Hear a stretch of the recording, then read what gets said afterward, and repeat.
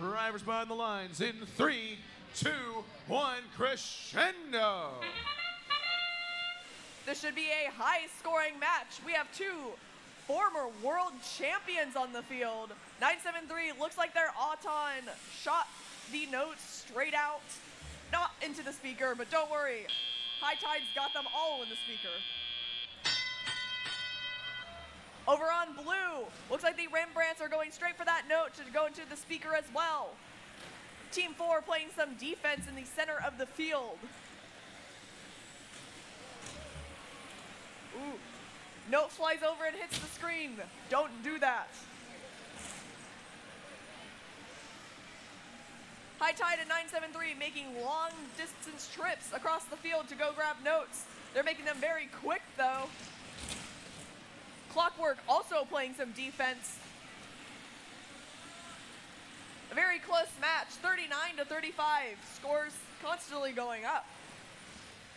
Team four also going to shoot into the speaker. Looks like we got another note flying off the field. 973 going for the speaker, same with 4414. Team four playing defense against their own alliance. Robot Dolphins playing some defense against the Rembrandts.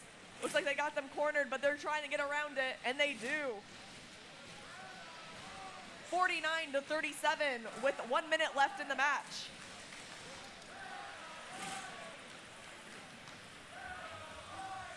Team four going once again for their speaker, while High Tide and the Greybots keep cycling back and forth between their human player station and speaker, going for the amp as well to get that amplification bonus.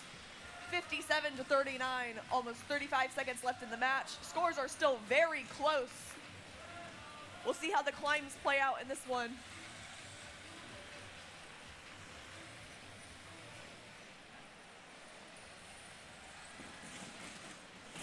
Almost 20 seconds left in the match. That means the human players can go ahead and throw onto the field. Let's see how that turns out. Doesn't look like there's much climbing with 10 seconds left. On the Blue Alliance, they get it. Will they get another one? Nope. High Tide going for the trap, and they get that in. Looks like they might get a triple. Nope. Almost get a triple climb on the Red Alliance. We'll see how these scores end up. 69 to 53. Red Alliance taking away three ranking points. Everyone moving up on the Red Alliance. Rembrandts dropped down to second place.